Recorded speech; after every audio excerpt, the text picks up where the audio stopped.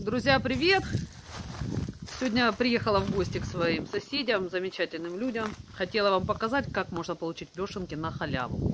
Вот позади меня отработанные грибные блоки, которые они берут для отсыпания междурядий в своем саду. У них тут и малина, и ежевика, и деревья, и овощи, все есть. Вот они привезли да, халявный блок. Высыпали его, когда вы его высыпали, скажи мне?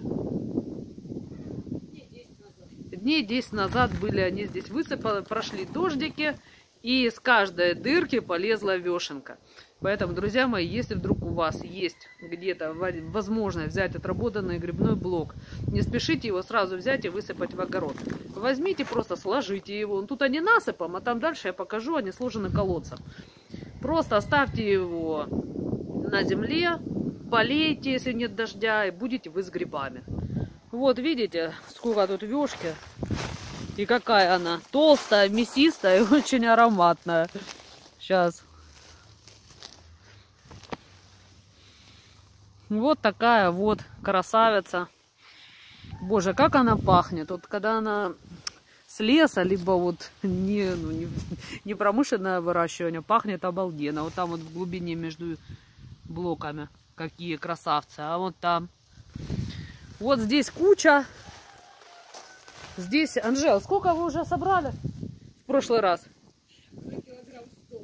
100 килограмм, они, представьте, отсюда уже собрали. Маринуют сейчас активно, закрывают. Это, кстати, тоже идея для бизнеса, между прочим, для кого-то. Я уже прям думаю, может мне привить, но уже поздновато. Уже скоро у нас мороз, это надо было делать раньше. А сейчас вам покажу, как вот можно это сделать в домашних условиях. Вот можно взять блоки, сложить вот так колодцем и просто ходить каждый день, проливать их со шланга. И все, вот с дырок лезут грибы. И только ходи и собирай. Какие нюансы? Ну, можно, конечно, и так, если у вас очень много. А если немного, то можно колодцами. Нюансы какие? Должна быть температура. То есть в нашем климате это нужно делать в октябре. Когда жара, так не получится. А вот когда прохладная погода, с хорошей влажностью, то без проблем. То есть можно заготовить грибов себе целую кучу. А? Вот, прошлой зимой, допустим, у нас вообще тут было ну, теплы. В итоге можно было спокойно всю зиму вот так вот ложить и рвать с, этого всего грибы. Да, у нас даже там в январе что плюс, плюс 11 было. Не знаю, как в этом году.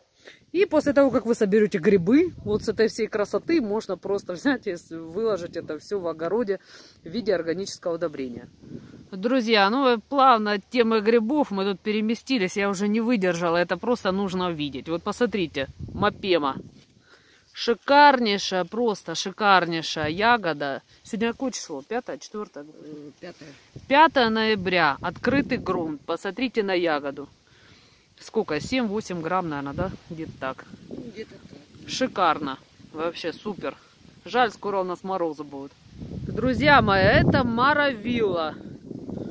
Вот такая вот, это вот, как говорится, 5 ноября к сожалению, уже не успеет вызреть до конца. Вот ей она просит туннеля. Анжел, ну согласись, ты же много собирала с нее. Дофига. Дофига. Уже до этого просто было дофига собрано. Ягода крупная, ягода тяжелая. По вкусу расскажи свое мнение. Самое. Самая вкусная, однозначно. Ну, я соглашусь, она очень сладкая, вкусная ягода, транспортабельная. Так что вот, моровила красавица. Ну все, друзья, быстренько про вешки вам рассказала. Рецепта маринования я не знаю. Если кто знает вкусный рецепт, напишите, пожалуйста, в комментариях. Потому что мне, меня зовут Косить, и мне нужно будет тоже с этой вешкой что-то делать. Все, пока-пока.